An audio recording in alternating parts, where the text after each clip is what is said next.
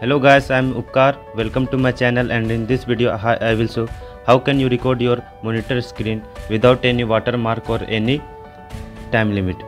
Open your browser and enter free cam 8 on your address bar and press the enter button. Once it is loaded, uh, open the first one that is freescreenrecording.com. It's the official site of this software. Then provide your email address. You can provide any because it will not ask for verification and hit the download button.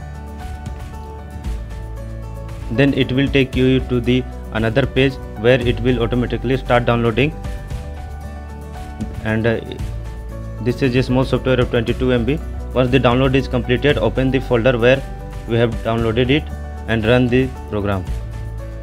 Yeah, that's all for today. Thank you for coming. See you on the next video.